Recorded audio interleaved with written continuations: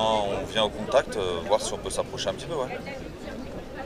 Parce qu'on est assez repoussé euh, ces derniers temps. euh, quand on va sur Paris ou quoi, on est souvent contrôlé injustement. Donc on voulait venir un peu au salon de l'agriculture, le, le endroit où on a le droit de venir et voir si on pouvait s'approcher du président. Bah, comme on a dit tout à l'heure, qu'est-ce qu'il compte faire pour la suite Parce qu'il y a beaucoup de gens qui attendent un petit peu des réponses et des mesures phares. Même si, on, si la- quasiment la totalité savent qu'il ne se passera rien au final euh, avec ce président-là. ouais. De, de parler de ça, c'est que justement on vient essayer de discuter avec eux justement pour, euh, pour voir euh, de- de- dans quelle position ils sont par rapport aux Gilets jaunes et euh, s'ils comprennent un peu le combat et, euh, et voir leurs conditions de travail aussi. ouais. Parce que du coup on a vu sur les, euh, sur, sur les différents réseaux qu'ils galéraient beaucoup aussi. Donc euh, essayer d'aller discuter euh, et aller au contact d'eux aussi.